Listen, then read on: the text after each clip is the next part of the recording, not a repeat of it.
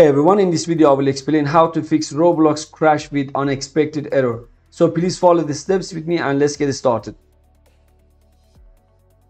It's better to disable any third-party antivirus or Windows security on your computer. And also you need to make sure your Windows is all up to date. So to do that, just go to Windows Update, then check for updates manually. And if there is any updates available, make sure to download and install them. And next solution, open up the command prompt so just go to search and type in there CMD and make sure to run it as administrator. You need to copy and paste all these commands in here one by one. These commands will clear the DNS caches. I will also leave the commands in the video description.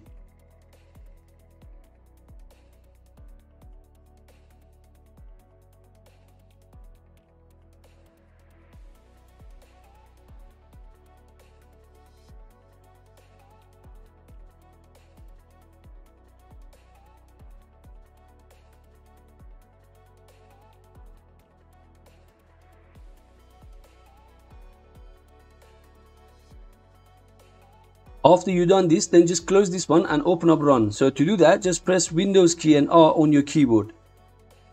Type in run, clean MGR and click OK. Make sure to check all options in here. Once you're done, then click OK. If the last solution didn't work, then try the next one. Next, we need to optimize Roblox player. So to do that, right click on Roblox player on your desktop, then click on properties. On the top, click on compatibility tab and make sure to check this option. Run this program in compatibility mode for Windows 8. After that, check disable full screen optimization and run this program as administrator. Once you're done, click on apply and OK.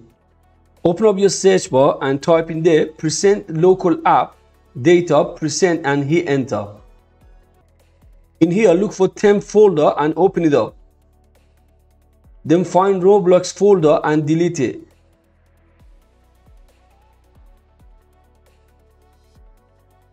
And once you're done in here, then on the top click on local and in here look for Roblox folder. And make sure to delete the folder.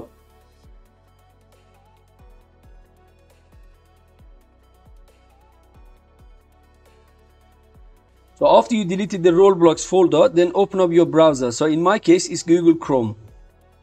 On the top, click on these three dots, then select settings.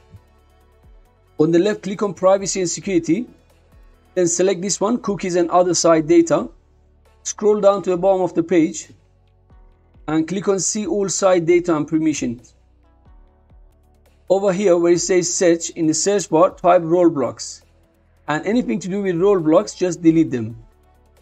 We also need to disable or remove any extension related to Roblox. So to do that, just click on extension on the left side. And over here, you can either remove it or you can just disable it. Next, we need to uninstall Roblox from our computer. So to do that, press Windows key and R on your keyboard to open up Run. Type in there appwiz.cpl and click OK then the programs and features will open up. So in here you need to uninstall the Roblox player and Roblox Studio. So just select them one by one and click on uninstall. After that, head over to Microsoft Store and try to download the Roblox. As Microsoft Store version is more stable. If none of the solution worked for you, then you can try the next method.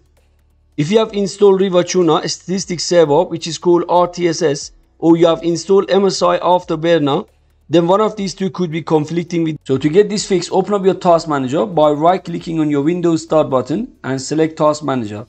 Once you open up your task manager, on the left side, click on details. Then look for MSI Afterburner. Once you find it, right click on it and select end task to close it. And next look for these two rtss.exe and rtss hooks loader 64. Once you find them, just follow the same process. Right click on them and select end task to close them down. After you're done, then try to launch your Roblox and hopefully this should fix the crashing problem. And that's all. By the way, if you haven't subscribed to my channel yet, please consider supporting me and subscribing for more videos. Thanks for watching.